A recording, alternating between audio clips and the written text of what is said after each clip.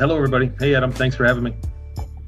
Tony, as I mentioned, your story is fascinating, it's complex. In some cases, it's even hard to believe. For new listeners who, who've never come across any of your story before, can you give us a little bit of an introduction to your bio? Uh, and like, like I said, it's, it's hard to put it all in a nutshell. People that aren't familiar with what's the term 20 and back, uh, people are, um, they're able, there, there are space programs that are able to abduct people and use them for 20 years and then through some form of technology age regress them back so they age 20 years age regress them back to the same age they were taken and then put them back and then here's where you lose people time travel them back to the to 15 minutes after they were taken and put them back in bed that night. But they are able to use them for labor or whatever to be soldiers or whatever task they need for 20 years so they're getting really really uh, I don't want to say free, but they're getting free labor out of it. Uh, and so these programs are doing this to people. Some people are chosen because of genetics because they are uh, qualified to do certain tasks. Some people are just good at something, so they need that up there in these colonies. And uh, some people are being taken just as a brute force labor force out of prisons and things, and uh, for slave labor. And in my case, I was taken for 20 years old, taken, and um, woke up with no memory of my life, you know, no memory of mom and dad, and I lived 20 years. And then at the end of that, I, I was I was moved from one project to another to a few different uh, places, and I ended up on the Ceres planetoid, a, a, dwarf planet just past Mars, where there is a German-based uh, breakaway group from Nazi German from the pre-war, I mean from the World War II Germans that had gone into space and built a colony there. I ended up being six, maybe uh, a few more years, six years basically on Earth in that time, and then was moved to Mars on a project that was canceled that didn't that didn't work, so it was canceled, and then I was kind of reintegrated into a new system. They give you an aptitude test and trained me for on a ship, and then I was shipped. I was moved to Ceres Colony, and I lived the rest of my 20 years there. And at the end, I was put back. I was they have a base on the back of the moon where they do uh, a lot of the work. And I was put back there, age regressed, put back in my original body. However, that you know we can talk about that later. There's a lot of other info besides anything that I've said on that uh, technology. And uh, I woke up on a table with aliens there, not remembering the 20 years this time, but remembering my original life. And then they put me back, you know, that night. I woke up the next morning. I was a changed person. I wasn't the same, but I had no memories really of what happened to me uh, in uh, May, no, March of 2015, I had had repeated headaches.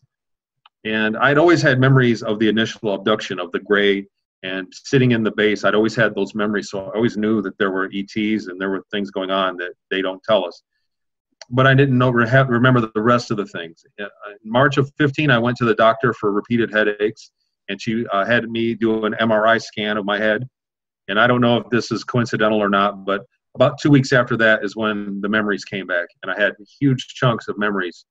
And uh, I'd always had memories, flashes of times being out there, and I, I waking memories, and I always dismissed those as I must have dreamt that last night or something. Because when could I have had that time? When could I? When could I have been on a spaceship? You know, I still have chronological memory of my life here.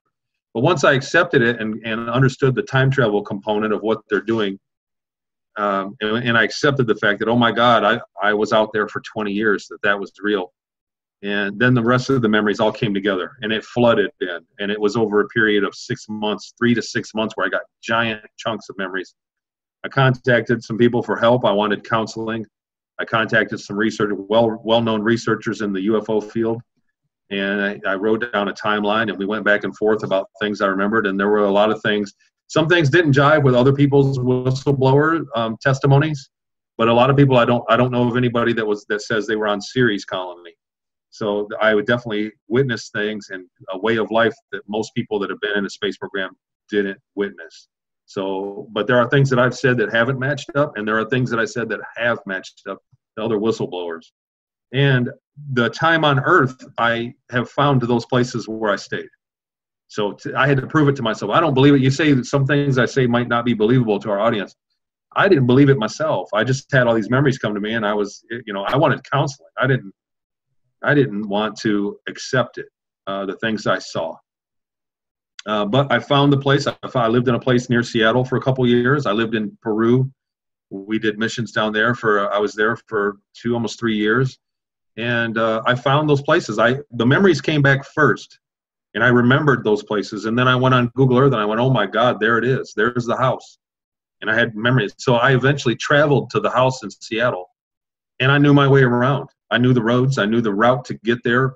It's on, on one of the islands around Seattle. You have to take a ferry. I remember the ferry. I had spoke of the ferry to my parents when I was a kid after the 20 and back was over. And uh, they remember, we always joked about it, the same ferry ride. So how could a kid in the 70s or, you know, in the early 80s uh, know about that ferry, the name of the ferry? So I did, that was one of the things, like I had to prove it to myself. And it did. And, uh, you know, and the other thing is a lot of people say, well, what, I had somebody the other day say, "Was that a past life memory, you know, that you're remembering?" And it wasn't because I was in Seattle, and it's not a dream either because it, in a dream, when you're at a coffee shop in a dream, you don't know how you got to the coffee shop. You don't have a memory of riding in the car to the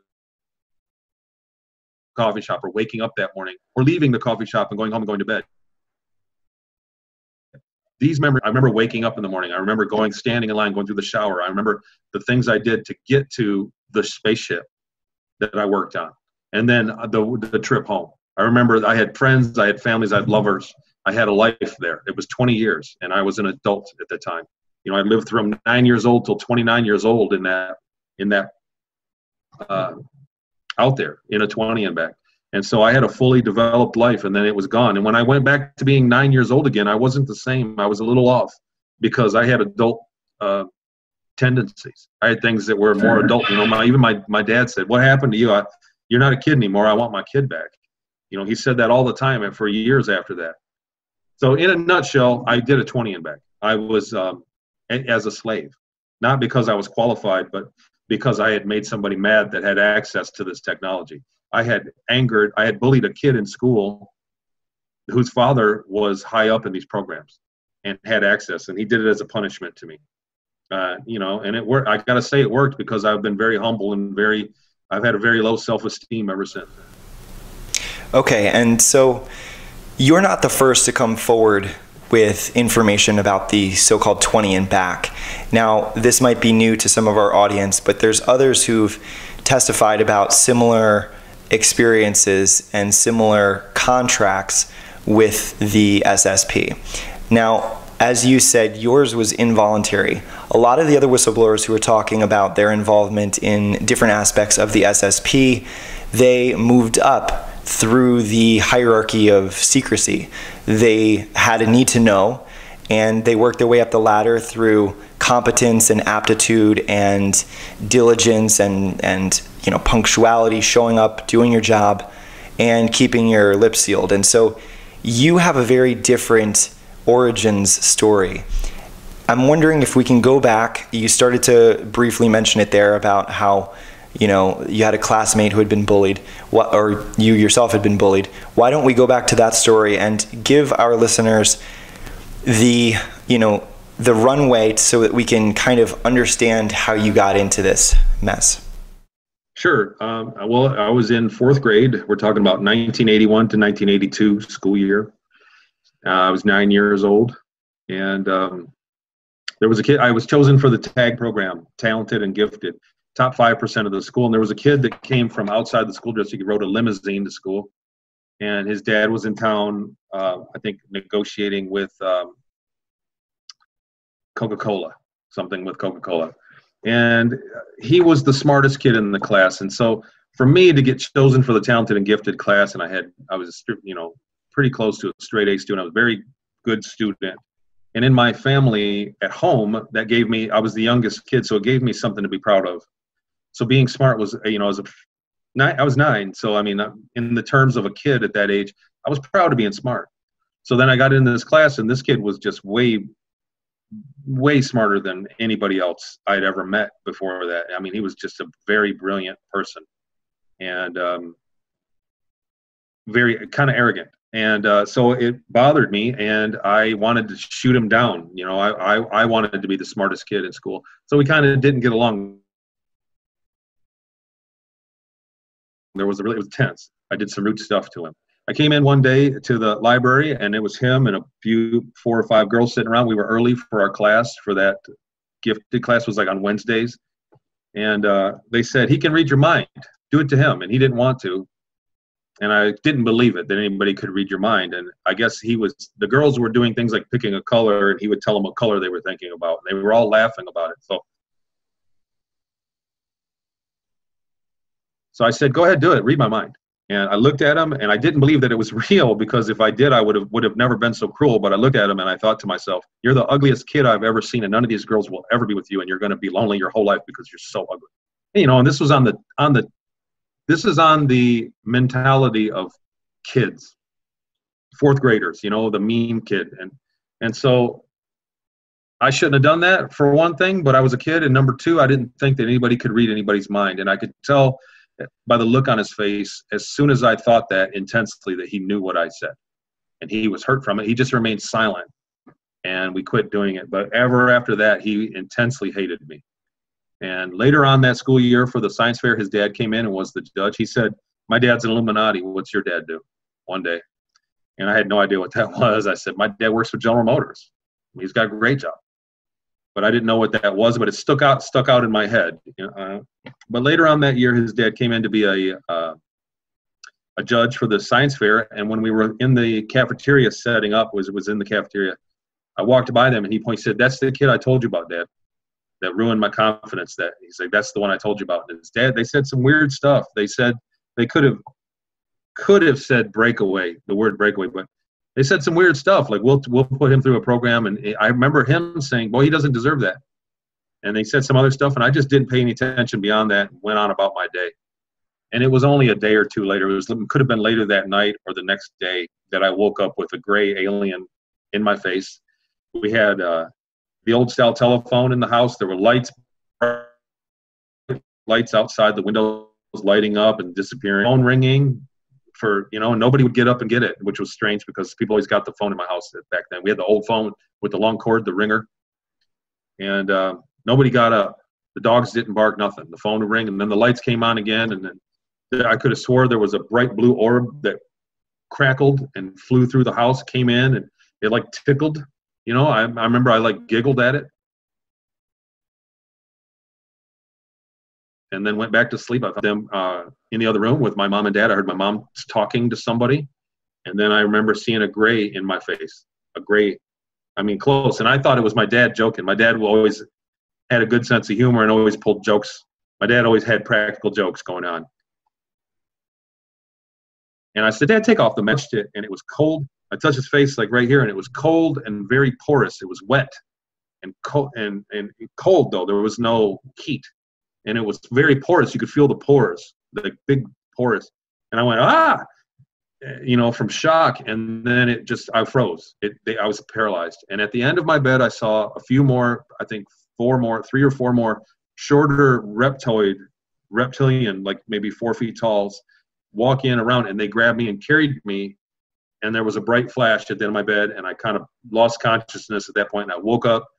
It, was your standard uh, abduction experience that everybody says they go through, and I'd always remember that. I these are things that never; those are memories that really never got erased. They never got um, erased. I always remember just that part being taken clearly. But after, what happened after that, I didn't remember. And they what had they had done um, tests on me and they asked my permission. He said, in his exact words, he said, We want to borrow your consciousness and you're going to live for 20 years and we're going to put you back. And I said, No, I can't do that. You know, I have my parents. I can't be without my parents for 20 years. And he said, No, we're going to put you right back in time. You're going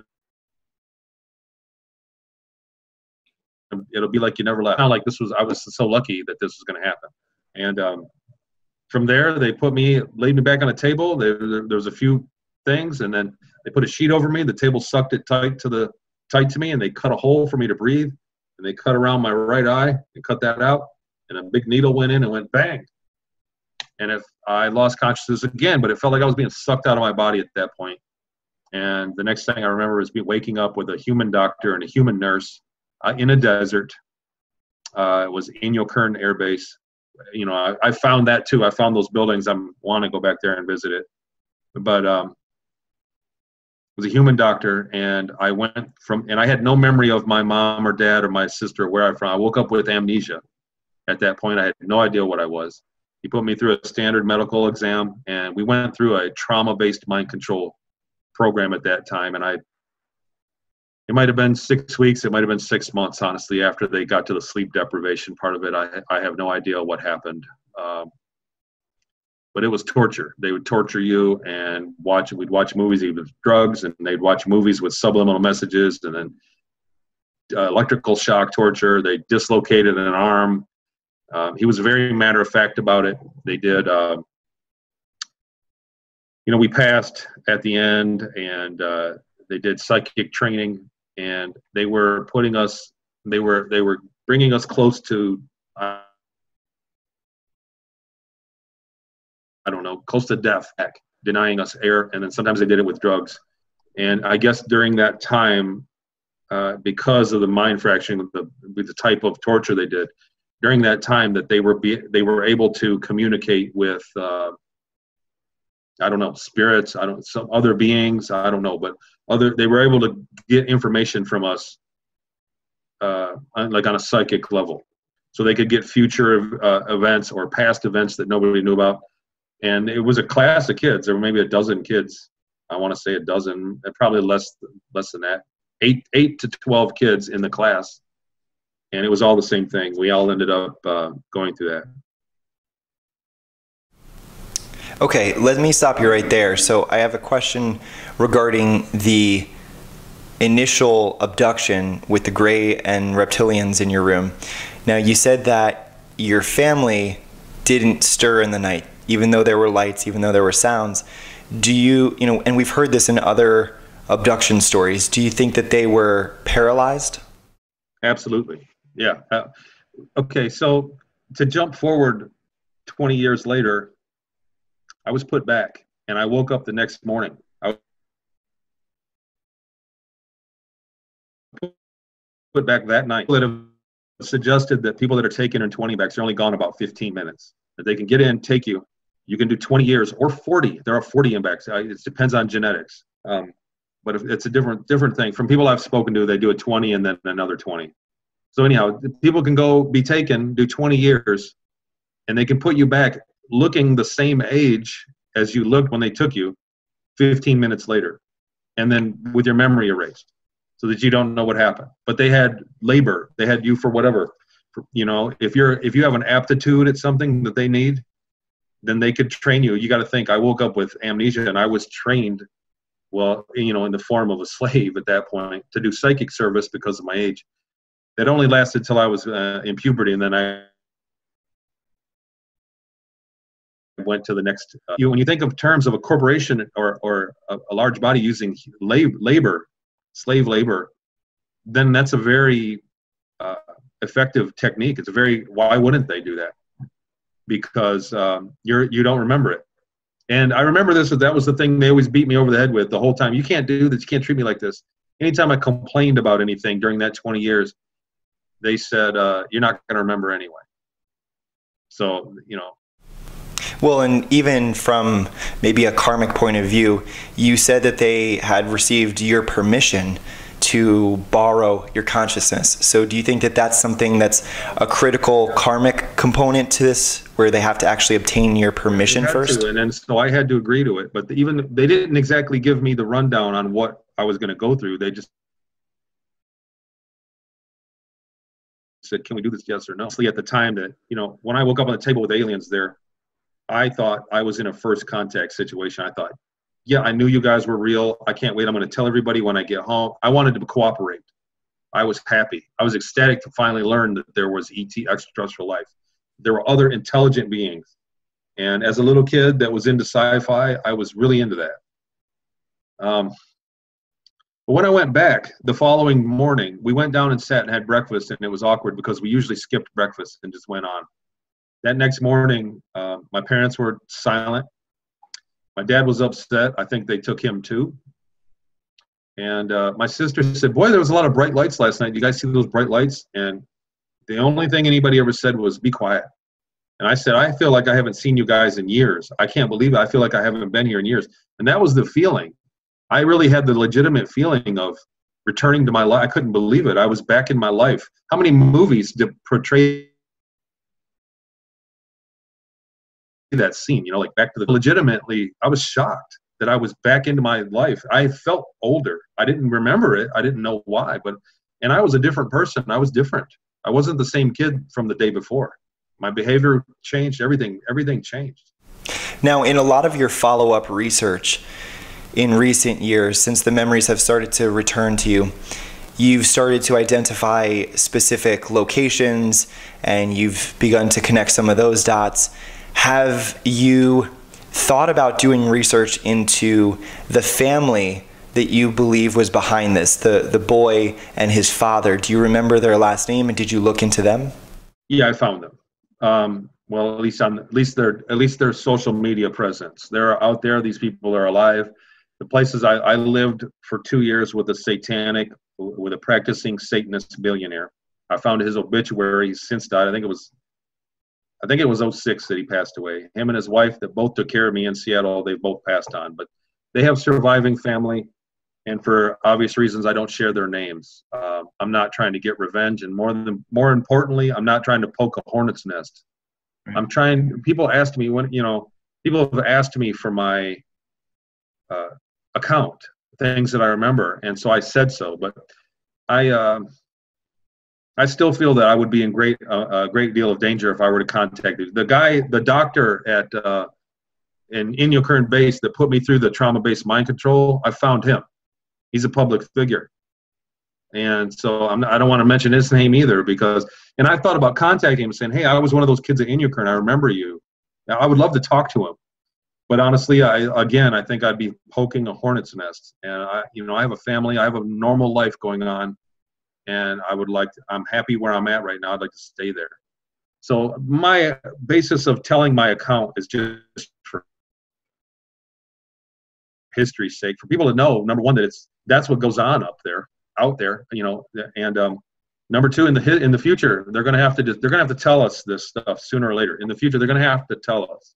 Somebody's going to figure it out, or you know, and so my account will just add up with other guys that have whistleblown and it'll be it'll be more info for people in the future to look back on and say, you know, you guys did this. What he said is true. You know, um, Ceres has a geyser, the Ceres colony. I'll send you a picture of where the hangar bay was, where we flew into the base. There was a series of bases underneath the surface of the planet. There was something like a quarter million people living there, 225,000 people living there permanently that are not in 20 MX. They're just citizens. There were two other ET races living alongside the Germans there, taller races. There's artificial gravity inside there uh, for miles, uh, millions of square feet of artificial floor plating across it. They get less gravity. Uh, it was my experience that ETs that were smaller came from heavier gravity planets. The shorter reptile ones were from a bigger planet. They had heavier gravity, so they were very strong and very robustly built. The taller, frailer looking ETs come from smaller planets that have less gravity than ours. And so during that, they had some sort of like a bracelet or something. They had something that lowered the gravity for them where they walked. And we had normal gravity, even though Ceres is only a small planetoid, only like 580 miles diameter. It's very small. And you could get work of trains inside the uh, that you went from little little underground towns one to another um, but I'll get you some pictures of that. Maybe you can put those up. So, Tony, a lot of people are going to wonder, I guess, as the next logical question, if you spent, I think, the first eight years of your 20 and back here on Earth, and then the next 12 on Ceres, the asteroid, the planetoid, what were you doing there? What, what made up the majority of that 12 year stint? Sorry, you're breaking up, Adam. You're breaking up on me. Yeah, so a lot of people are going to wonder of the 12 years that you spent on Ceres, the asteroid, the planetoid, what were you doing for the majority of that time? What was your role and your responsibility there? What was the mission? The very first thing I did um, the very first day when I got there, uh, there was like an orientation, a medical exam, and they kept us. We were slaves, and they kept thousands of slaves living in um, like a prison, but without doors, without the bar door in a prison, but like a cell. I had a little cot. I had a little um, a drawer, like a dresser, that was attached to the wall, and no door. Three walls, and it was probably a five by eight or so, um, big space. And then there were rows of guys like that. It was like a prison and at the end was a main door with security you had to go through. So I could come and go as I wanted, but I had to, as long as I made it to work when I was supposed to the next morning at the hangar. And um, the first day I got mistaken, it was assigned to a mine, the mines. They were mining there, looking for water, and and opening up space to build. Uh, uh, space was at a premium. They, didn't have enough space. It was always they always wanted to keep mining and get the water out so that they could build more towns in there. Uh, there was it was heavy construction going on when I was there the whole time. Mines, it was a mistake. I, there was security waiting for me when I got back from the mines that first day, and I had been trained to do ship repair, and I thought knew something was wrong. So the next, I didn't make the mistake. Uh, somebody else did, and got in trouble. The next day, I took a train, a separate train to the hangar bay, and I didn't see the. Sh- I never saw the ship. I kind of got off a train and walked right to an umbilical, like when you walk out onto an airplane. You know that long hallway that moves. It was an umbilical, and I walked through there, and it, it was the bottom, um, the bottom floors of a of a spaceship, and it was an older, like a converted submarine. It looked like a submarine, like a like what you would imagine a submarine looks like. We had the doors that you had to step over with the, that would turn shut. There were big pipes and um, there was like a uh, uh, there was a tool crib and there was a McDonald's looking screen, like a flat screen, like an industrial screen, and we was myself and two other guys like me. We had collars that would shock collars that told where we were and what we are doing, and they could shock us with it and punish us. And uh, every morning we went there. I, I rode the train. We showered and did our thing. I had uh, like a jumpsuit that I wore, and we, we would go there and I'd report to that monitor. The door would close. We'd be on a ship, and the monitor would say, you know, our number and what to do. You're going to go to the tool crib and grab this, this, and this that was numbered, and come back here. And it had a list of detailed. It wasn't complicated. I mean, it wasn't hard to do. It was. It wasn't skillful. It was a list of what to do exactly. Step one, go there and clear the area. Step two, cut this out. Set this um, up on it and cut it. Step three, clear the area. Step four, you know, go back and, and get the parts. Your, the parts you need will be waiting for you in the tool crib over in the section. You know, the things we needed that day will be waiting for us. And we did maintenance. We did ship maintenance. We did repair. And uh, that went on for years. And that and then at the end of the day, uh, you know, after an eight-hour day or ten hours, depending, the ship would land. The door would open. You're done. Put everything back the door would open, I'd go and get back on my train and go back to my room. And sometimes when you got there off the train to your room, they had uh, cleaning duty. You know, they had stuff for us to do. But most of the time, they didn't mess with me. They got the slave guys got that. The the, the miners got that, and uh, I would just go back to my room. That was it. That was my whole. That was my existence. It was miserable uh, during those years. And I remember, I remember I wanted to die.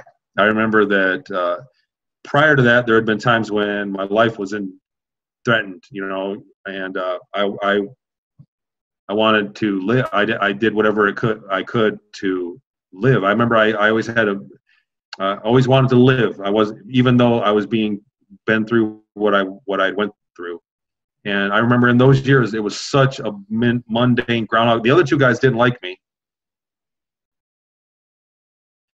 and uh, so I didn't have any friends or anything. And I remember in those years I just was miserable. It was so depressing, you know. I just wanted to die.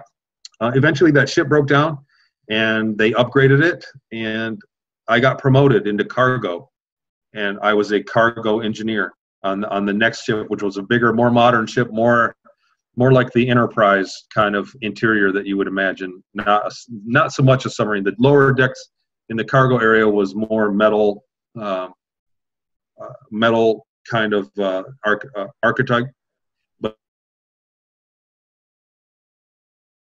but the upper decks had upper decks and there were in the front of the there was an elevator and there was a lot more crew on that ship um, and then there I did cargo. Basically, whenever we, we did cargo missions, we went all over the place. There was a portal. We went extragalactic. Some said that um, something like uh, only 2% of our missions we ever did were within the visible range of stars from the Earth or from Ceres. You know, the stars that you can see at night with your eyes were too too close, basically that on all our missions. And we went, we'd we'd leave, we'd come home at, at night. Um, and the ship also, here's the other thing that um, the ship came back many times only a few minutes after it left. So when they portaled, they would, the ship would take off, leave leave the base, and then portal out to another system, and it would portal back to only a few minutes prior than it left, and they could scrub the mission. They there was a loophole. I guess there are um, there are higher beings in the universe that police time travel.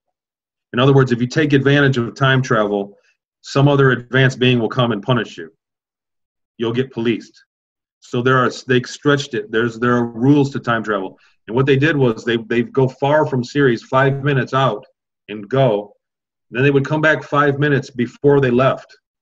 You know, maybe on the other side. And that way, if the mission was a failure, they would park somewhere somewhere different and they would not send the ship and they would scrub the mission and we would just do maintenance that day. And this happened a lot. They were, there were a lot of scrub. They called it anti-telephoning. Um, and then when the other ship took off, the original one left, then we would fly back five minutes and we'd get there according to the law right as soon as we left. That was as much as you could stretch it. So they figured out to go into distance. There was a it was a it was a cheat on inner on whatever interdimensional law, time traveling law. Um, that's something that's policed by higher uh, ETs, more advanced beings, and they were very afraid. They said that people that got in trouble for that that the punishments were un- unbelievably bad. That um, it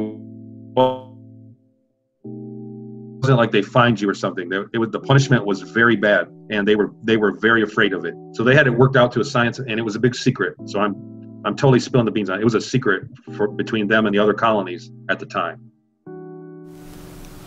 Okay, wow. All right, so time travel, age regression, portal technology, extraterrestrials. I promised this would be fascinating, and I think it certainly is panning out to be quite phenomenal.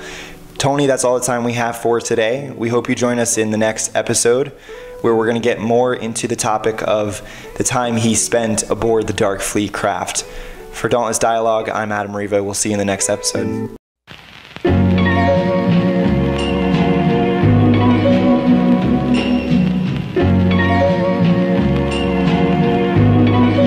It's right here on Earth.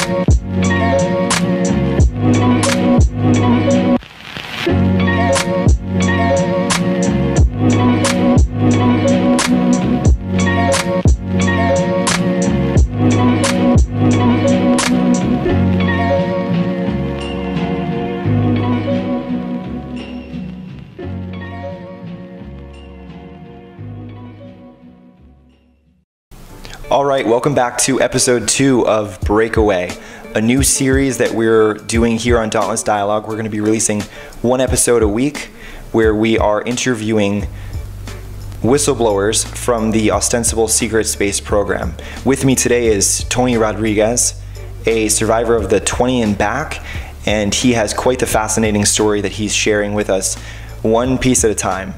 Now, today we're going to be diving more into his experience on board the Dark Fleet craft and some of the other experiences that he had while he was in the solar system and outside the solar system.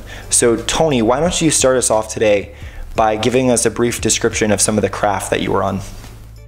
Well, like I said, the first one, um, uh, I had made a few trips from Earth to the Moon, and that was on your standard TR3B one. And then there were smaller crafts. I was stationed on Mars for a time, and there were smaller craft there.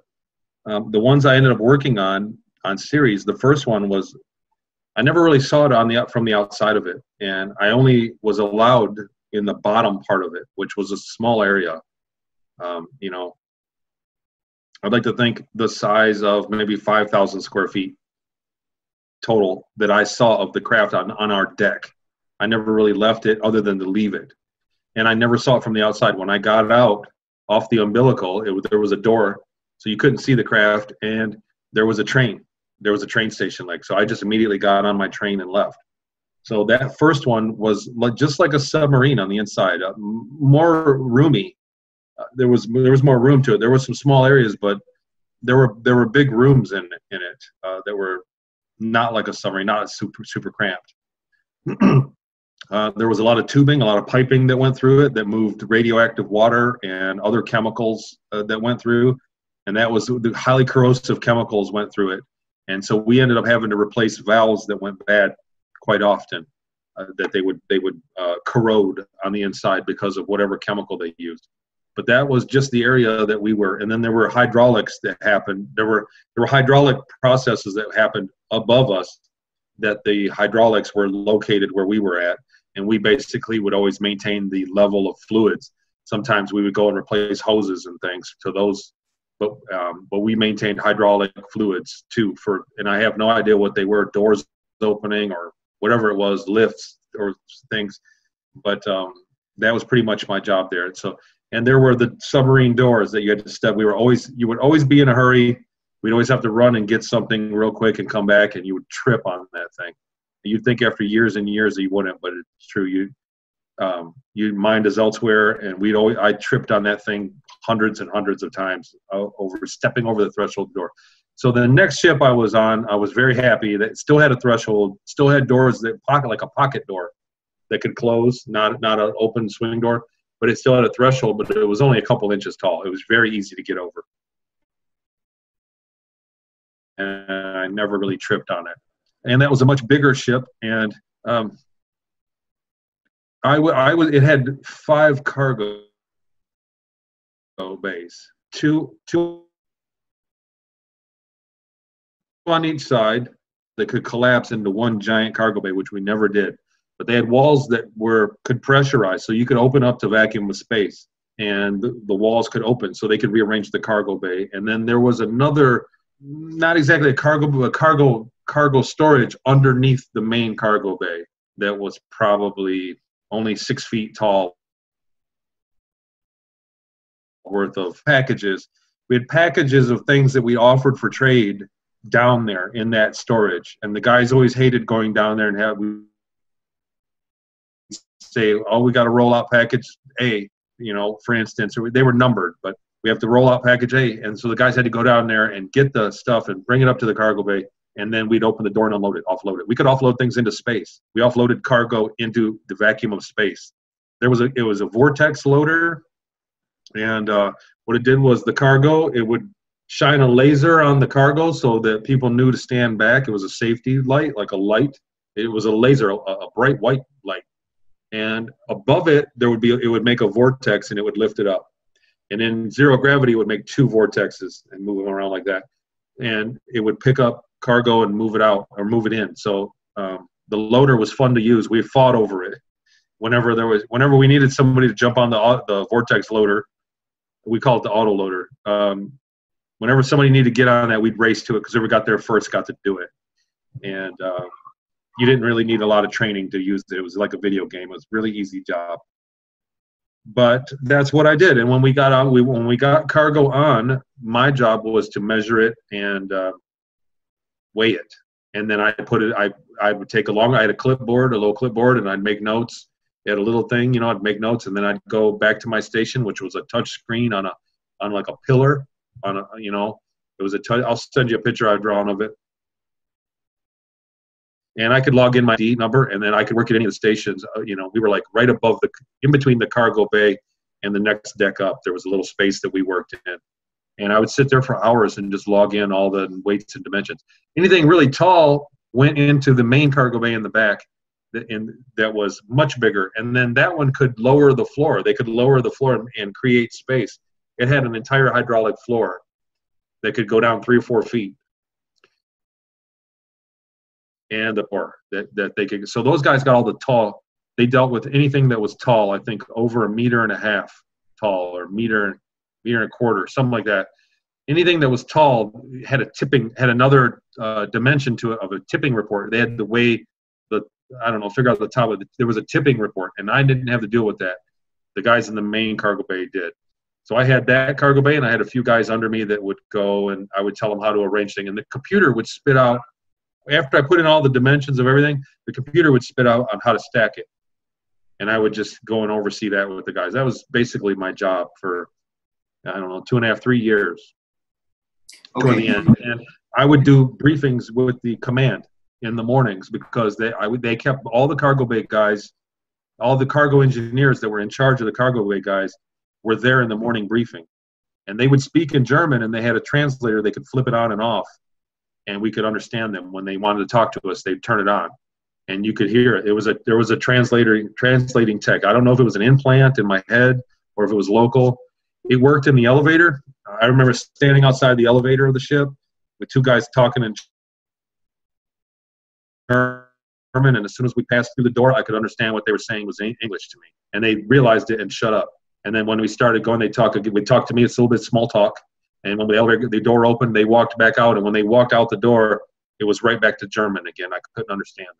So that was, and uh, so that was there, and it was at the train station. But like when you right when you got off the ship, there was an area there that the translator worked, because there was a guy from Italy. There was a guy that spoke Italian, that worked in the main, in the main cargo bay that was funny, and so we'd rub into him all day, couldn't understand what he said. So we'd catch him at the exit at the end of the day and say, "What were you talking about, man?" And he was funny. He was kind of like uh, uh, he kind of had like a really mean, like a mean sense. He'd be mean to you, but so his sense of humor was was like uh, aggressive, you know. But um, that was basically where I spent my days. Uh, so I, I, did in the morning. I didn't go into the rear umbilical of the ship. I went into the forward umbilical of the ship with the crew, with the with the actual crew that were not slaves. And that's very important. That was the first time I ever really rubbed elbows with them. And uh, I wore a different color suit. I wore a, a, dark gray or light gray, and I wore a dark gray, or it was vice versa. I wore a light gray, and they wore dark gray. I think that's what it was. I was light gray and then the uh, there was guys in the crew that wore black. There were people that wore navy blue, a dark navy blue, and then the command. Some of them wore like a like a, a blue with a gray on it. I would go there in the morning and take the elevator up and go to the command briefing, sit down. I had coffee. They'd have muffins and stuff there, bagels. That was my bre- counted as breakfast. They regulated everything we did. Um, I was only allowed to go to the bathroom for a short time. I had a lunch, and if you didn't eat lunch, you got in trouble. You had to eat your three meals a day, no matter what, or they'd send you to the doctor, and the doctor would be unpleasant. And um, but I'd get up in the morning, I'd go there, and there was a long, it was a table with a long white room, and it looked like the panel on an airplane, like with the uh, grid of fabric glued to a plastic paneling. That's what the walls were in the front in the command area. And um, there was a long white table, and they all had their own little tablet pads that they used. And so they would go between each other and see. All, and I most of the time I sat there with my little clipboard, and they would call on me and usually ask how much room is left in the cargo bay that was available. And that was my report, and that was it. And then we talked. You know, they would talk, and um, it was just like hanging out with guys. I mean, they were German guys that they were not born on Earth; they were born on Ceres. So, um, but they were people just like you and me, uh, just a different culture. Now, Tony, did you have a job title, and and were you ever given promotions during your time well? The, going to the cargo engineer was the promotion from the original title, and there there was a rank, there was a number. It was I don't want to say E, but it, there was a number like a or a letter and a number like an E two, like a D two or something which was levels below the lowest rank in, that they had. And they had naval rank. Like at the top, there was a. I remember. I always remembered. It's stuck in my head. They had a corvette captain, and then a cap captain or capitan captain. There was a captain. There was another one, and there there was a corvette captain. And I always remembered that word. And I looked up later. The German Navy does still did use ranks like that, but it went all the way down, and there was a rank, and then there I was just like one rank. I was two ranks below it, and I got promoted to the rank below, actually being a serviceman, which I could never could, because I was a, technically I was a slave. Hmm. Um, now I got demoted from from that eventually. The other thing about the ship is when when the old ship broke down and was decommissioned, there were a period of months in between when the other ship wasn't finished being built yet, or it was built but it was being converted to do the job it was going to do. Like you know, like whatever they bought it from whoever built it or brought it. I don't know how. I don't know the politics involved, but basically the ship came to Ceres, sat in the hangar bay, and then they modified it for to do to, to set it up how they wanted it, and that was a few months. During that time, they came and got me. It was pretty cush, but uh, I went to classes. They put me through like a phys ed thing, and I went to new classes to learn my job. And uh, they came and got me one day, and I didn't have to go. I was, you know, it was dreadful because it was like long hours and it was, you know, it was boring. They came and got me one day and took me to the hangar area and at the top of it there would imagine like a window imagine a giant hangar uh, room 500 feet tall at least 600 feet tall very big by thousands of feet long and wide it was just a massive wind it looked like when you're looking out the airplane onto a tarmac uh, from, from an airport out onto the tarmac how there's a row of seats when you're waiting at your gate it was a window like that that looked down and i could see the front of the ship from above it and I thought it was just gorgeous. It was beautiful. It was it had the lines like a stealth, like a like a B two bomber. You know, it had the the stealth kind of lines, and it was a blue. It was a black with like a blue, like a like a black with a blue tint color. And um, there was scaffolding on the on the like on the ship on the front of it. There was scaffolding. It was under construction. They were building something like a big protruding like a tower in the middle of the ship. I never saw it finished. But then I took a a guy came and got me uh, I was supposed to go there and meet somebody, and I did. I reported and met someone, and I had to stay there for a minute, uh, 30 minutes, and then a guy came and got me, and he was in a different uniform. He's greasy, so he was one of the flight crew people that worked down below.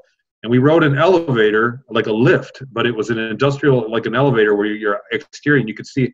I rode it down in that big room to the bottom, and then he had a six-wheeled, like a golf cart, like an electrical golf cart, like it was six wheels truck, and we, we rode under the ship and through the back of it, and it was rounded in the back. Or it was it came to a taper and it was flat across the back where the where the car the main cargo bay doors were. And then I, he pointed out my he said you're going to work there. I said why am I doing this? They didn't even tell me why. He said you have to be familiar with your cargo doors.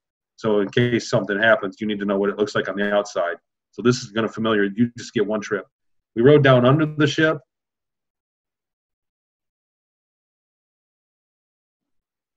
I saw I saw my cargo doors, and so there was some windows and things. You know, when you're up close to it. And then he rode me back, and I uh, another guy came. I didn't ride the elevator back up. There was another guy came and got me and walked me back to a train, and I went back to class. And I, it was just beautiful. The, um, I was like stoked that I saw that. You know, it was I didn't I didn't get out much, so it didn't take a whole lot to impress me back then. But it was a pretty big ship, and I've done the math on uh, we used to pick up cargo at Diego Garcia, and so I've used Google Earth and done the math, and I, I estimate the ship was about a thousand feet long by about uh, 600 feet wide, and it had to be a different dimension tall, maybe four, four or 500 feet tall. Um, but that should have been about a thousand feet long, or um, 600 meters, or something like that. So it wasn't the biggest ship out there, but it was a fast cargo cargo ship. You still there, Adam? It looks like you're lagging. Yeah, yeah, I'm still here, and um, you're reminding me of some real world examples, um, some evidence that we can look at.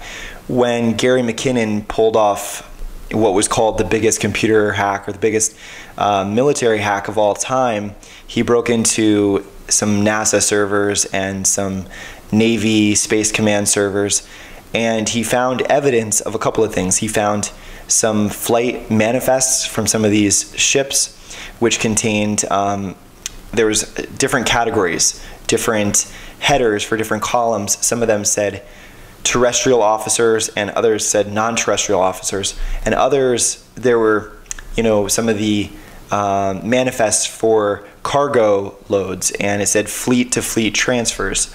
And so, you know, I guess I'm going to throw that back at you, and I want to kind of drive home a little bit on what types of cargo do you think you were moving since this was such a big part of your job? Did you ever were you allowed to ask questions and did you ever snoop into that well officially no uh, the my official responsibility was to not care about the cargo I, you know i got a box it was my it was my job to make sure the box did not get damaged make sure it got stacked efficiently and it made sure it got to where it was going and it was none of my business what was in it it did, however, open up cargo. There was cargo that was broken. I saw inside of it. There were. We took everything you can imagine. We took water. We took people. We took um, crates. We took cardboard. We took giant graphite things that uh, boxes that were made out of like a graphite that could go. That were pre- that could handle vacuum. We took weapons. We took missiles. We took um, 55 gallon drums of chemicals. We took uh, um, things from our t-shirts. We took ten. We took well, one time we had like ten thousand pairs of military boots that we took back to Ceres. We picked it up at Diego Garcia. It was just surplus, so they took it. It was free, free for them. So they took. They were military boots. And the only reason I know that is because when I walked in in the morning, one of the girls from uh, uh the front of the ship, I think navigation or something, was showing them off. Said, Look at my boots we got. You know, these are what came in. So that's how I knew that's the only way I knew what was in the cargo. I just remember giant crate, big crates that came in. But um, we took things. I got in trouble. Um, it's a long story, but I got in trouble for reporting. One opened up and I looked inside and there was coffee, and it was on the manifest of things that were banned. I guess coffee to other ETs is a um, narcotic like a very strong drug to certain ET races. So it, it was being sold as for that reason, not because of what we would think coffee. And so I reported it. And because I did my job, but really they were sneaking it in there and they knew about it. So it was, I wasn't supposed to know. So it caused a big trouble. So I didn't get in trouble. I didn't get in trouble for it. I did my job correctly, but they got in trouble. And so it was, it caused a big deal in the end all, and then they took it the next day. But um, because I found that the guys made me drink coffee every morning. You're drinking coffee here, you know, and it was like a running joke with me. So, Tony, I want to ask you a question regarding uh, this Diego Garcia base. How, in your opinion, how is it that you were able to bring in a, a craft down into you, you know, um, into Earth's airspace, or did you have a scout craft that was smaller, or was it cloaked? Well, it was. It had stealth, uh, the kind of technology, like the they they keep that from you purposely, I guess, so that um, I guess other ETs can't psychically scan the crew in the back and learn about the craft. So they compartmentalize the tech. Uh, so I wasn't sure about a lot of the things on the craft. Um, Diego Garcia had um, was an American place, and it was ran by American personnel, but only a handful of them knew about us. The rest of the personnel had no idea what was going on. We would come at three, four in the morning, two in the morning there, and come vertically down into a certain parking lot, you know, like a big parking lot area, and everybody was uh, gone. You know, like it's very the they ran a tight ship there. People had to go home. There was a curfew on Diego Garcia for people. They had to be in there. They had to be in at night, and um, so there was only a handful of Americans. There were guys. We did missions where they had to come with us, and they knew that they were going to be blanked. They knew they were going to have their memories erased when they got back, and um, they were. Uh, there were a lot of things that we weren't. They weren't aware of us doing but there was always a we had to sign a manifest when we picked up cargo there, and they gave us bootleg stuff that we weren't supposed to have. I think other whistleblowers, uh, researchers have a problem with me saying that we listen to music from the earth because that's a big no-no up there. And uh, but there were bootleg things, uh, entertainment that found its way to Ceres colony for the colonists to listen to, uh, earth music and uh, books and stories and things, even movies got bootlegged through Diego Garcia up there, which is a huge, which is a huge illegal illegality in the secret space programs. They they keep the and um, they don't want to listen to it. There's mind control components to the music we listen to, so they didn't want to be exposed to that. But they did. People snuck that stuff through there. Uh, there was a demand for it, and so. Uh, trying to think some other. Tony, I have a question regarding Diego Garcia. So, some of our listeners might remember the missing flight um, out of Malaysia 370, which there were a lot of conspiracy theories about where it went, and some images surfaced in the months succeeding this event. Um, someone had supposedly, um, you know, snuck a, an iPhone um, in their rear end and were able to manage to snap a picture of Diego Garcia base, and there was, um, you know, geo locating metadata embedded deep within the picture, which you just can't fake.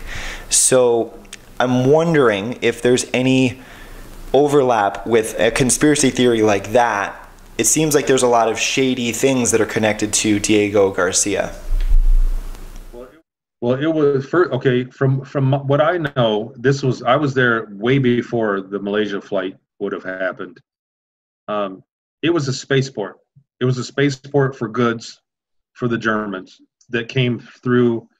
We had we there were times when we had to wait for shipments. We got there and the shipment was late, and so we would go out to sea. They let us go swimming.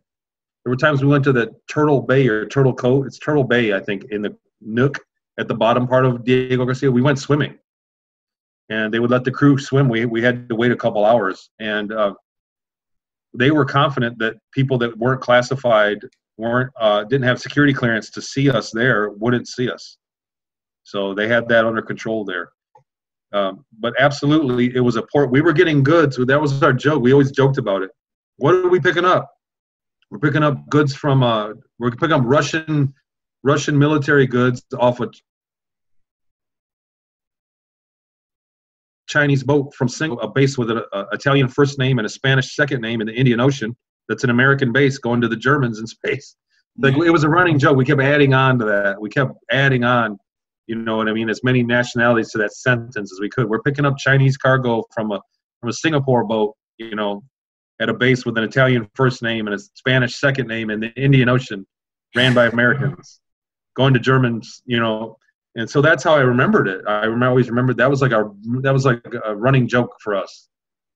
But um, I remember one time we, we the one of the officers from America, the Americans said, "Look, you guys are running up a big tab. You guys need you're in the millions here of money that you owe." And so the next morning at the at the briefing, security briefing, uh, the mission briefing on the ship, the next back on Ceres, the next morning, I brought it up, raised my hand, says, "Anybody have anything to add?" And I raised my hand, I said, the guy at Diego Garcia says we need to pay our tab that we're running it up, and they burst into laughter because they weren't paying anything. It was an illusion to the to the guys giving us the cargo. They think that there's a trade going on, that there's a financial arrangement. There's not. They got everything they took from they whenever they needed any kind of military hardware or anything for that matter, it got shipped to Diego Garcia, unloaded, waited there in that hangar and we got we came in in the middle of the night and scooped it up, and there was no charge. So it's that's that's the kind of level, uh, you know, it's getting paid for by the trillions of dollars that's missing of the black op, black ops or whatever you know the Pentagon missed. That's how the accounting is working. The Germans weren't paying anything. They looked at whenever whenever I was on Ceres colony was a symbol that represented the Earth Earth colony. It had a chain around it. It was the earth, it was a picture of the earth with a chain around it to symbolize that it was enslaved. So that's how they that's how they regarded us. They were not concerned with Earth's well-being at all. They concerned they regarded it as something they owned. Okay, so Tony, help me connect some dots here. I guess I'm wondering how you got shuffled into a German secret space program when you were, you know, living in America. Can you square that circle for us? Yeah, well, I mean, it's easier if we go through chronological order, but basically, I ended up in Seattle, living in a house, private residence of a billionaire, and he was a practicing Satanist and obviously connected with the program. Um, after I had already been in Peru for a few years, and um, they were using that technology from the MK Ultra stuff. They were giving us me injections and putting me on shipments of cocaine from Porto to Huantinsuyo, Peru, to Santa Marta, Colombia. They would ship up. It was a C-46 command. It was 46, 42 C-46 Commando cargo plane, and I was just a kid. I was you know 10, 11 years old, and I guess they lost one of the planes, and it was cocaine they were moving. And when we got up in the air, we'd fly over the state of Acre, and when we got into Colombia, he would. There, I had a handler, a guy that spoke English, and he would give me an in, an IV drip. Put in, I was a psychic for them. Like I would, if there was something police or some bad weather, they used me to navigate. He said I. He said he talked to through me. I. There were times that I talked fluent Spanish. That he talked to his dead grandmother, and uh, just I said all kinds of stuff. He, he he would always have a list of questions from people from the village during those trips, but I remembered none of really none of it. Some of it I do. Um, but they were putting me under and using me. That's how they're doing the drug war. That's how they're avoiding being caught. They have, they're using psychics. And you think this has got to be CIA tech. So that guy owned me privately, and that was his little business running. And when I hit puberty, I lost that ability. And so I went back to Seattle and lived there. I was kind of like, um, in a, it was like an orphanage of other kids there, and we were being put through the pedal gate stuff. We were sex slaves. Uh, without going into too much detail, uh, I eventually washed out of that. They gave us medication every day, and they changed it one day, and I became I was allergic to it. They said if you either eat this or you're going to the military.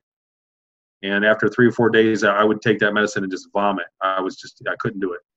And so they did. She took me and drove me up the road to the back of a parking lot behind a store, and two guys got me in a van, gave me an injection, and I was off world. I woke up on the moon again, and I was trained for suicide missions as a support soldier for Mars, and I was shipped to Mars. That that was the next step. I mean, I'm skipping through this without a lot of details just to get to back to where you cover our question. I went to Mars and I was a support soldier, and there was a, probably a dozen of us then, and uh, we did three combat missions with existing U.S. Uh, Marine soldiers on Mars, and we engaged. There are giant bugs that live on Mars. There are giant insects that live that are indigenous there, and we engaged them and had fatalities. And as a result, the, I guess the bugs adapted quicker than they thought, and so they canceled the program. I was flown to a bigger city on Mars and uh, put through uh, aptitude testing, and I tested for skilled labor. And so then I went into ship repair, and they they gave me classes, which was more like the MK Ultra stuff, movies and drugs. And then after that, then I was shipped to Ceres. So I think they were taking personnel or slave personnel and either trading them or selling them according to your aptitude. So if I would have been smarter, I could have been a, into communications or whatever. But I'd already been through at that point in the 20 and back. I'd already been through enough um, mental abuse to where I wasn't exactly. Uh, I didn't exactly have a great aptitude. Interesting. Have you ever considered that you might have actually done two 20 and backs? Did you ever wonder if you maybe did a 40 or a 60 and back? Well, no, I I think that at, during one time that they sold us off to a race that had a different 20 and back technology, and what happened was they took all the slave, the German, the the Ceres colony Germans, in trading with another race of uh, ETs, traded people to go on like short like 10 and backs, which we weren't supposed to, but they I guess they had a separate technology that was not a danger. Um, in other words, the 20 and back tech that we were using, they said that you know if you went through more than that or more than 20 years, you could be harmed. And I think that we went through that program, and what happened was everybody committed suicide. So the deal didn't go through. They said that they got the first, they were trading technology for people, for manpower, and I guess that everybody committed suicide once they got on the other end of a shorter 20 back inside of it. And I think I went through that, but I, um, I just don't have enough to really talk about it soundly you know, it's vague. So I don't really talk about it a lot, but I think that happened. Wow. Okay. Another exciting episode behind us. As always, it seems like we just run out of time just when it's starting to get really juicy. Um, you'll have to tune in next week for more details. Uh, we're going to dissect more of Tony's fascinating story. If you want to support this most essential work, you can head over to dauntlessdialogue.com. You can purchase some of our merchandise. We have uh, shirts and hoodies available, and all.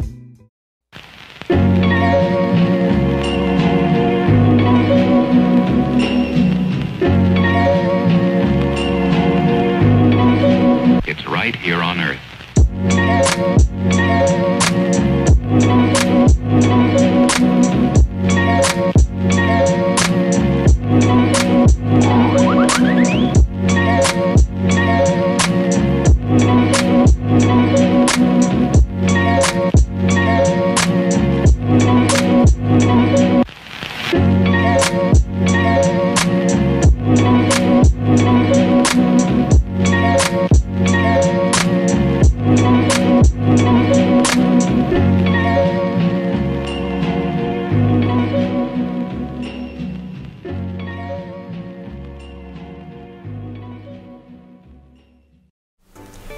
Welcome back to another exciting episode of Breakaway here on Dauntless Dialogue. I'm your host Adam Riva, and with me today is Tony Rodrigues, who claims to be a whistleblower who has endured the 20 and Back, which is a program inside the Secret Space program where you are age regressed after serving a certain amount of time, uh, in his case, just shy of 20 years, where they put you back into your normal life and here we are today where Tony is starting to recall some of his memories from that experience and he's sharing them with us and he's sharing what he thinks is relevant. Now, today's topic is a little bit darker than any of the other ones we've done. We're going to be talking about some of the MK Ultra uh, child trafficking material uh, that Tony has to share with us. So, Tony, welcome back to the show. Hello. Hello, everybody. Thanks for having me. Good to be back. So, why don't you start us off um, right after Peru before you had actually left for Mars? Um, well, the time in Peru was a kind of a limbo for what I was used for. Um, I mean, the time in between. Uh, in Peru, what I was doing, I was they were using some drug, some tech, and using me for um, intuitive work on shipments of drugs. So I assume that was a CIA thing. Uh, obviously, somebody connected with. There's an underground, and they're all connected to each other. Um, but I got sick at the end of it. So uh, right around puberty, I lost the ability to do whatever it was that I was doing, and I went back to I think the guy that owned me, to my owners, and it was he had a house and um, on one of the islands around Seattle, in the Seattle area, and when I got there, they flew me back. They, I ended up on a like a cargo plane and went to California. And then his wife picked me up and took me um, back to the home, which had been remodeled and had other boys living there now. Uh, you know, it's the same house that I'd been to a few years earlier, but it had changed. The downstairs had been remodeled and there were other boys living there, like, kind of like an orphanage. And you said in the last episode, you told us about the person's house whom you were staying with. And that he was, you know, a higher up in the Illuminati or in the deep state. Now, did you get to spend time with were there other children there or was was it just you by yourself? There were six or seven boys usually. Sometimes there were more. Uh, they came and went. Um, I was like already old, I guess, for something that you know, for to to be in, in trafficked and um, I was think I was running coming up on 13 years old when I was there, and there were a couple older boys than me, and mostly they were younger, and um, we uh, we had the downstairs. Like I said, it had been remodeled. There were, geez, I want to say six rooms down there, bedrooms. They turned his big den that he did the sacrifice, you know, that had been turned into bedrooms, and then they had a few more bedrooms installed. Um, it's hard to talk about from with from scratch. But when I got there, they were there, and I didn't know what I was in for or what the deal was. Um, when I walked in, they had a they had a room set up to the side with a reel-to-reel movie camera, and a little like a couch and like a little living room set up. But it was a it was an old style reel-to-reel camera, and uh, I was excited. I thought I was going moving up in the world, and uh, I didn't think anything bad was going to happen to me at first. And um, which nothing did for the first few months. Really, um, it wasn't um, it wasn't high speed uh, of the abuse of what what they were into. They didn't. It wasn't something that took place every day. They had a schedule, a calendar of events that they had that they uh, used us for. And you said the word sacrifice. Can you explain a little bit more about that? The very first time I had been there, right after the, I mean, I think I said this in the other episode, but the very first time I had been there, right after the MK, right after the abduction, I went through an MK Ultra uh, style class or mind programming, trauma based mind control. From there, I went to that house, and during that time, there I witnessed a a, a human sacrifice. I uh, ritual, satanic ritual. He was a practicing Satanist, so I, I found his identity. I found the house. I went back there. It's exactly like I remembered it, and um, but I don't tell people who it was or because there are still people alive that could be dealt with it. I don't want to poke a hornet's nest, so I don't speak of the names. But they're real people, and I found them uh, and shared it with researchers. How old was the person who was sacrificed, and, and was it male or female? It was a boy. He was much younger. At the time, I would have been nine, and he was much younger than me, so he was five or six, maybe.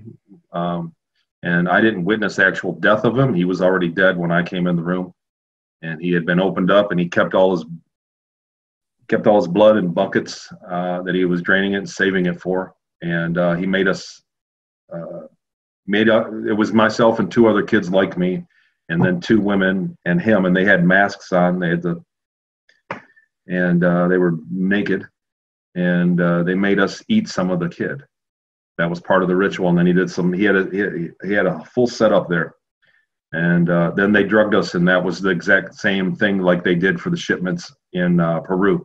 They take all they put all the kids up on tables and put an IV in our arm and put us under. He was doing that for business advice, like you know, uh, channeling, trying to find info from the future or from the past. They were using that's the kind of tech they're using, like ESP tech. What, can you go into that a little bit more? So, so he has you unconscious and he has you hooked up to IVs. And how is that all supposed to work? Towards the end of the MK Ultra, they put us in an oxygen tent, and um, they would lower the oxygen until you were about to lose consciousness. And then uh, they had a, they had it rigged up. They had um, you know like EEG stuff stuck to you. They had instruments um, that would monitor that when you're close to death, and then oxygen would come back on. Um, and you'd wake up. And it went on for hours. It went on over all night long like that. And there was a bell that would ding. I, there were a dozen kids in the room that they were all doing the same thing to.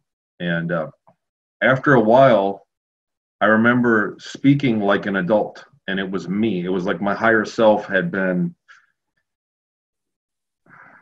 like aroused and uh, you know i was getting close to death and i felt like i was leaving my body like it was the close to death feeling and then boom, the bell would ring and oxygen, you go back. And then a half hour later, however long it was, you got close to death again. And then the bell would ring, oxygen come on, you go back. And it was like each time I got closer to myself, like I, I got closer to a state of mind that was not a kid. It was not a child. It was some it was myself. It was my higher self. And I remember that I finally got the the part I remember of it is that I finally got angry and I said something like, "Hey, you need to let this kid die. Make up your mind." And then the lights flickered around it. You know, like I was angry, and then they all came. Oh, hey, we got one. We got one. And that was the pat. That was the whatever it was. It made me pass that. Um, and so what they were doing was, I, uh, I can only imagine that they're putting you close to death, and that they can access at that point um, other other entity, other dead people you know, how many times you have you had heard of somebody that was uh, dying and then they see their relatives in the room and they can talk to them?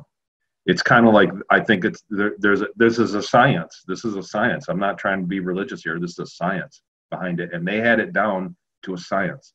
So you got to think uh, on a military level of this kind of technology. If they can if they can create their own psychics that are accurate, that can communicate with some other dimension wherever people where everybody goes that uh, that's a very huge and you got to think you could if you had that if you could accurately do that and you had three of these kids to yourself you could be a billionaire pretty quick.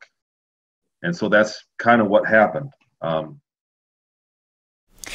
okay, and so I remember when you and I were speaking off air, um, you had said that you had believed this was an ancient, let's call it a technology, an ancient technique. Um, what led you to believe that, and can you go into that in a little bit more detail?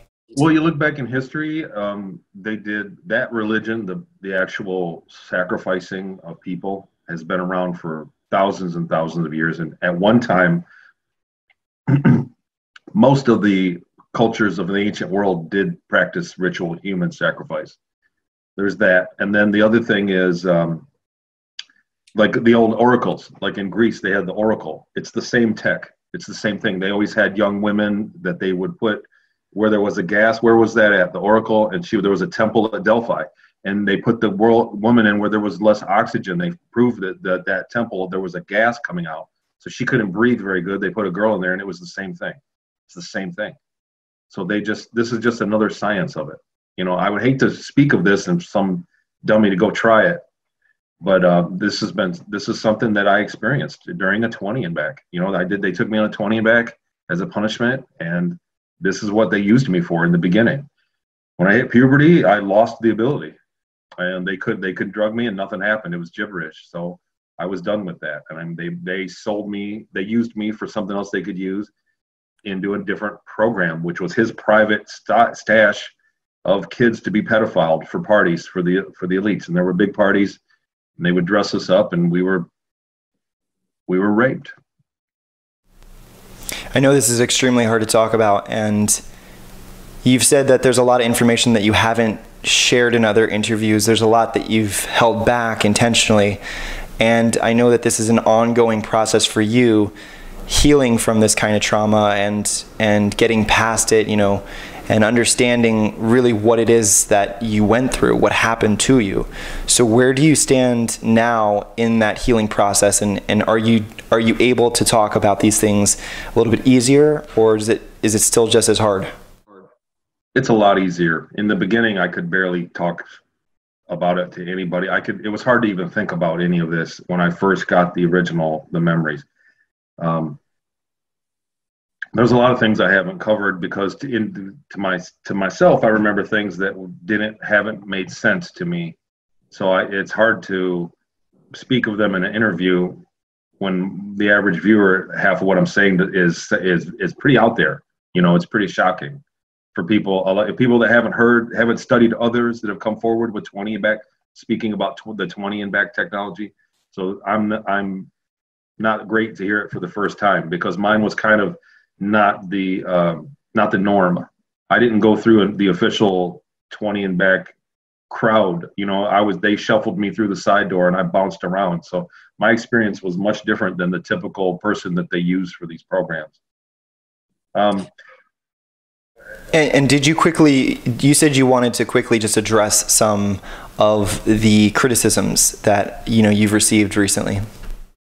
Sure. You know what? You've got a great crowd. What I've realized, I've read the comments on, you know, on your on Dauntless, and you've got a great group of people that are watching this. A lot of people were skeptical. I got a lot of skeptics, and people gave me um, so the eyes. He's lying because of his eyes.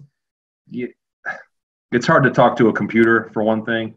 And last time when I when I um, I was in between two jobs that day, I just squeezed you in. I was so busy a few weeks ago when we did that interview. I was bouncing off the wall, so I apologize for that stuff. But uh, you know, I'm not trying to mislead anybody here. There's there's nothing for sale, and I'm just trying. People have asked me to tell my story, so I've told it. But in the very beginning, I just wanted therapy, and I got talked into doing a, an interview, and then one has led to another. And it's important. People should know. People should know that this stuff goes on this is this is a huge part of you know they have the UFO phenomena. Some people uh, think that it's one thing, it's many things going on, but people need to know that this is real. That this is um, the 20 and back stuff is real, and it's been abused. People that have had access and owned these programs have abused their power, and uh, people like me exist. I, know, I'm not the only one. Like I said, there were 12 kids in that class that went through the. They were all in the same predicament, I assume. So people need to know this stuff, whether you believe it or not. You know, it'll come out later. It's all going to come out eventually. and people can come back and look at what I'm saying later, I guess. You know, I mean, I'm not trying to sell you something, and I'm not trying to drum up a boogeyman here. Hmm. Well, while we're on the subject, can you quickly speak about some of the other people in the field who have, you know, kind of corroborated you or, or some of the people who've vetted you and, and found what you've said lined up with other accounts? Well, it was really hard in the beginning. I don't want to name names, but there's the big one that came out, and uh, every time, every week, I remembered something that could have proven me.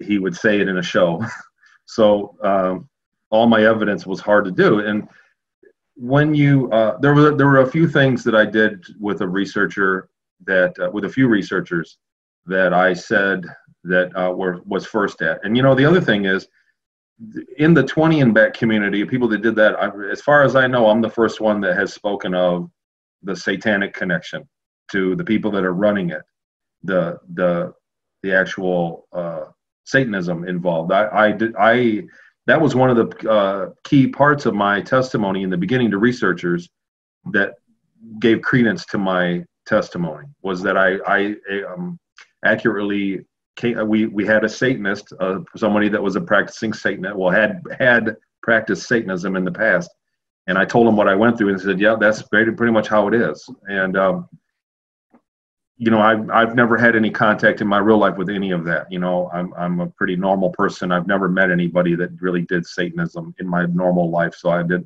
I don't have any kind of uh, background with it, so I wouldn't have known.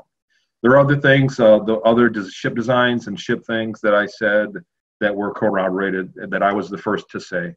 So there are some articles about me and things I've said that uh, substantiate. But to me, I didn't further. I didn't believe it myself. I didn't believe me myself until I went there.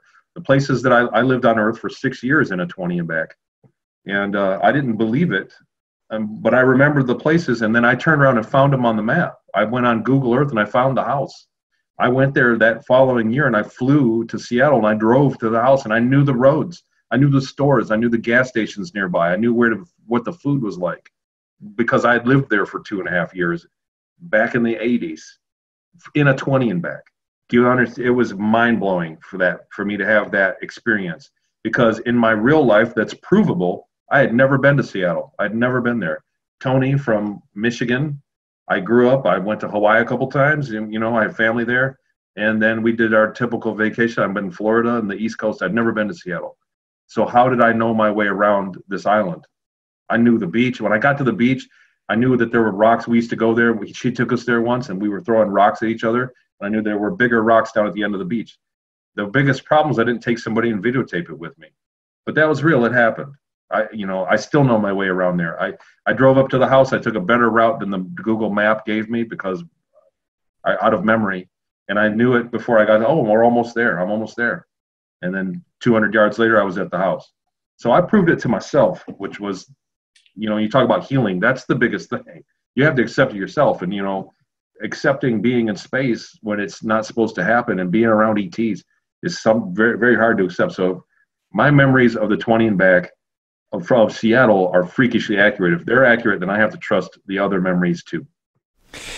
Tony, I think part of the reason why there's a lot of either confusion or skepticism around your story is because your your version of the 20 and back is extraordinarily unique. Now, not only does it have the Satanism aspect, like you mentioned, but it's also not a structured 20 away and then brought back. Uh, I think there's different types of technologies based on the extraterrestrial races that are doing the age regression, like you said. So some of them are only capable of doing 10 and back, uh, whereas if you go beyond the 10 years, you would actually potentially face some uh, something devastating to your health, uh, let's say. Um, there are people that are claiming to do 50 and backs and 60, 60 and backs, and honestly, I don't know enough about it to confirm or deny any of that. Um, my case, my genetics or whatever, I was told that they were all 20 and backs, but I was lied to quite a bit then. In my case, it was 20 years. And most of the other people that I knew up there were on a 20 year schedule. There were people that there were people that did a 20 and then went back and then they had to age in their real life and then they did another 20 back. There, that was I was aware that that was one structure of, of the technology, but there are many different ways for them to achieve the same tech, to do the, the same thing. So there's more than one way to for them to skin that cat. And so I don't I can't really say anybody's you know lying or truthful about it. I don't I just don't know enough about it. I know that I went through it for for 20. I did about 6 years on earth and then was moved in moved into the space program, sold off to the military in in her words and moved into the space program and ended up on Ceres, Ceres Colony. And can you tell our listeners what was the nature of the technology that was used on you to age regress you? Oh, um, I mean, during the experience, the, you know, it's funny because it took a long time. The the return when I when I left, yeah, now we're skipping away from Seattle, but when I when I left, the, they came and got me and uh, walked me, and I flew on a craft back to the moon to the lunar base. Are you still there? Yeah, I'm still here. Okay, I lost you on there. Uh, I flew back to the trapezoid base and uh, went through another round of uh, the trauma-based mind control, uh, like a deprogramming. Like they they put you in different stations. They had it. It was very industrialized, and you went into it was like like a like a high-speed hospital, you know, that you could go through quickly. But they were they there were hypnosis it was programming about it. They did the the ship, the pirate ship thing, and then they did the other thing, the blurry face to make uh, you know I still everybody that I remember from back then is. Uh,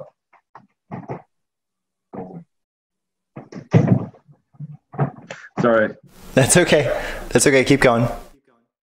The um, they put you through. First, it was like the ship thing, and I thought that was ridiculous, and I laughed about it. And I was combative. To, you know, the, it's a long story, but I didn't want to go back. I didn't want to forget. I wanted to remember. And a lot of people that come back don't want to remember. A lot of people are they don't want to remember the 20 years because it was terrible. I for whatever reason, for a few reasons, wanted to remember and I didn't want to forget the people I knew there. And so I was combative. And somebody on the ship told me, he said, it's the law. They can't. What are they going to do? if you are combative right now, they can't punish you. They have to get you back. They've only got so much time, and so you can uh, tell them no. They're not. And we were always so um, conditioned to get punished if we did disobeyed that that little window of a few days, I was very combative. I was very uncooperative with them, and uh, at least as much as I, I mean, at least for me, you know, on my in my mind. But um, it was a long process that you went through the hypnosis and then through another it was another tech man. And, what what it did was it made everybody that you remember you you can i can remember their bodies but i can't their face is blurry. You face you know it's like uh, it was a local thing. They had they had some kind of tech in the spot. And then there was another during that process there was like a chair you sat in with a machine and it completed the tech completed the the the the effect the programming of it. So people, most people that I think about, their face are blurry in that, and uh, it's common with other people that I've spoke to. And I went from there and then um, into a medical thing, and then they finally put and I ended up getting injections every day, a couple times a day, like all through. That's why I'm so deathly scared of needles. They put injections. You had to stay still. And I was like, no, what if I want to roll over? You know, I was still being combative. And it was a tall white gray that was the doctor, and he said, "Look, if you," they didn't know how to act. They didn't know how to deal with somebody that was not. I said, "No." He said, "Sit on the table." I said, "No." He did, totally didn't know what to do. And he said, "Well, if you don't sit on the table, I'm going to have to call somebody, and you're going to end up getting hurt." You know, somebody came and told him, you know, the, the reason with me like that. But then they said, "Sit still," and they put the they put like a black uh, frame around me to keep me from moving. You had to stay perfectly still during these these injections to immobilize you and it was it felt like weeks of time that that that I had to stay there immobilized with a tube feeding me. Um, but he said if you move, he's like you can move if you want, but you're going to get badly injured. You're going to go back to your normal life and have back problems. You could have uh, your spinal cord; it has to be perfectly straight. He's some it was something like that. Your spinal cord can't move, or you'll have horrible back problems. And so I did. You know, I didn't move as best I could, and it was torture. That was a that was a very uncomfortable thing. Um, then one day uh, the injection stopped and they came and wrote you're on a table like a stretcher and they rolled me into another room and put a you go into a machine and it was like i got incinerated. That was the that it, there were effort there were golf sized golf ball sized pockets of me that were in pain. That started first it was one or two and it was like you know like a golf ball size pain in my legs and everything and then more came and finally it felt like i got incinerated. And from that i woke up and was back to my nine year old body. When the i lost consciousness from there and when i woke up again i was nine years old. I was back to being a nine year old kid. Did you have any lasting negative effects when you were back in your nine year old body like like he had warned you about? No. No i'm pretty healthy. Um, I, a lot of they say a lot of people that go through the 20 and back have severe health problems. I'm 46 right now. I'm still in very good health. You know, um, besides your typical falling apart kind of stuff, but uh, I, I, don't have any kind of uh, health issues right now, so I don't think so. Um, but I woke up as a kid then, and then the interesting part about that was that I didn't remember the 20 years. When I woke up back as that kid, I could remember my mom and dad now. I could remember my sister and my home, and I was back to myself. But I didn't remember the 20 years. I didn't remember where I just was, or Ceres Colony, or any of that. When I when I so so so so I was taken and had memory of mom and dad, and then they did a process, and I had no memories. Then I lived 20 years, and they did a process, and I went back to that kid that had memories of mom and dad. So how they did that, I don't know. I don't know if they cloned a body and moved me from my consciousness of body. I don't know if they do it's a mental thing. I don't. I honestly, I don't know. I don't know. But that's what happened. That's what the experience was like for me.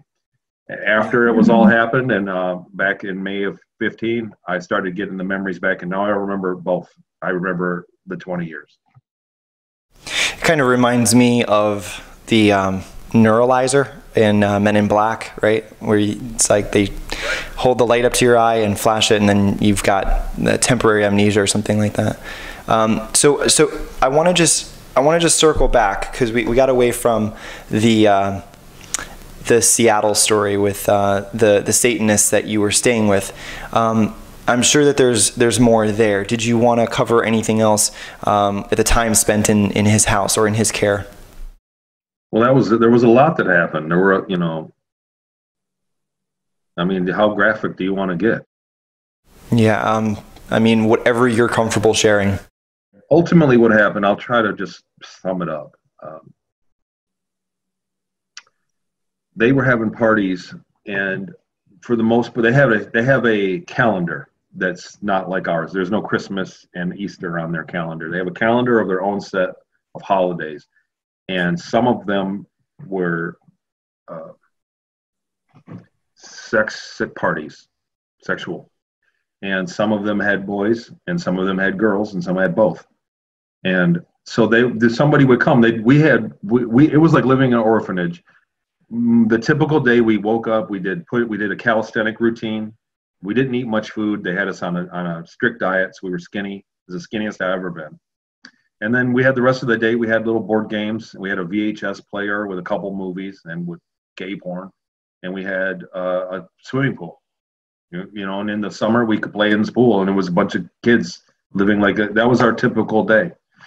Um, once or twice a month during the summer, only in the summer months, was when they would throw a party and it'd be in midnight, and they'd dress us up and they'd drug us, and they would choose they would line us up, you know, so they'd line up and all the kids had to line up and they would pick us. So I you didn't get picked for every party. And they would chain us together and take us out and they had like a carpet on the on the grass with pillows and there was security, guys security. Like if we tried to get away, we'd get beat up. And then far away there'd be girls on the other side. And so that's you you had to work those parties and it was um like uh like you see like some uh, you know like the eyes wide shut stuff um, but you were basically a, we were basically a booth at a party, uh, the boys, and that's what they kept us for. That was, and they said it was a cushy job. The threat there was always that, um, you know, if you don't behave, you're going to be sold to the military, and you'll probably be killed. You'll probably be in combat or something. You'll be sold off. So if you don't behave here and don't want to stay here, you're going to sell. We're going to sell you to the military. That was the threat there. So we kind of we kind of felt like we had it better than that because because like I said, 99% of the time we were just kids around the pool.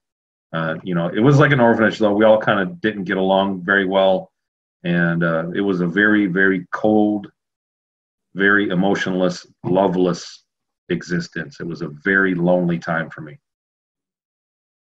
I'm sure that during your time spent there, you saw the faces of, of politicians or people who you know wealthy establishment types um, you don't you don't have to name names because I'm, I'm, sure that wouldn't be a good idea but you can just confirm that or deny that yes there were politicians there yep. and sometimes there were guys from the military that picked us they would come and pick kids to take to parties to leave the leave the property and go and some kids were bought and sold i guess they would come and go but yes, there were there were it was there were political fundraisers, and I found plenty of newspaper. I found pictures of the party that I was at, which was also freaky. But um, I don't really want to get into. Like I said, I don't want to stir up the hornet's mm-hmm. nest. Yeah. Now, now, what was this? What was surrounding the house? Was it in the middle of the woods? Was it gated? Was it in a community? It was gated. He had six or seven houses on 500 acres, with a wall around it. It's gated. He had his own gate, his own private. He had a. There was a guy that I swear to God wasn't a human at all. The the the land keep the landscaper, the the taker guy, was the most evil person you ever. He, he I swear he wasn't a human. He behaved very very strangely, and he was their security, and he did everything. He kept us in line. There were at times kids tried to escape, and they, he found them the next day, and they were they um, know, of course, it's an island with freezing water around. They were going nowhere, but they tried to escape and uh, they were caught. And then they were gone. They got sold off again, like probably to the military, some other stop. But um, it was pretty private, and uh, he had his own. Uh, you know, for uh, also he had his own butcher uh, shop, a butcher set up there for somebody that sacrifices people. He had his own way to dispose of bodies. It, it was a farm. And were you ever taken off the property? Kind of, were you taken into town? Were you taken shopping? Were you allowed to leave at yeah, times? Yeah. She never went alone. Uh, so he was never there. And the whole time I lived there, they, they were, you know, I was aware that they were doing the rituals, but it was elsewhere in the home. I never witnessed it again. You know, you know, so it was it was always really sad. It always like was heartbreaking when I knew that they were doing a ritual because I, I thought that somebody might be dying. Yeah. But uh, he was never there. He was hardly ever there. Once a month, once every couple months, he'd pop in. She was there all the time, and she was not happy with her lot. She did not live like a billionaire. Every time she went somewhere shopping or something, she took one of us, one or two of us, with her. So we got to go, you know, drive. She took turns and took us with her. So we did take the ferry and then go to places. And then she was getting um, drugs for us that they would for the parties. They drug they gave us an injection, and it was like you couldn't feel a thing. You know, it was like mean kind of drugs. But she was getting them, and they were the kind of drugs that you had to keep cold. And um, so she was meeting somebody for that. I remember all the time we'd go places and then meet a guy, and she'd pick up whatever, and they were like intravenous kind of drugs that she would get and other stuff. But uh, and then the store, there was a store up the street. She never went anywhere alone. She always took one of us. Yeah. Wow. Okay. I mean, this is this is horrible stuff. Um, this isn't fun to talk about. It's not fun to um, shine a light on this kind of evil. But I think it's necessary, and I think your story is going to be increasingly vindicated as time goes on, and as more of the Pizzagate narrative and the Pedogate narrative unfolds before our very eyes, uh, we're going to start to see these people fall. And I've certainly done my fair share of research and, and, presentation on this material on this channel. So for anyone who's new to this, and this is, you know, um, just your, your first initiation into it, uh, I encourage you to go check out some of the other material that we've shared on the Pedogate material. Tony, I think that's all the time that we have for today. I want to thank you for coming on the show again. You'll have to, you know, tune in next time for uh, our next episode where we're going to talk to Tony about his time spent on Mars. I'm Adam Riva, and we'll see you.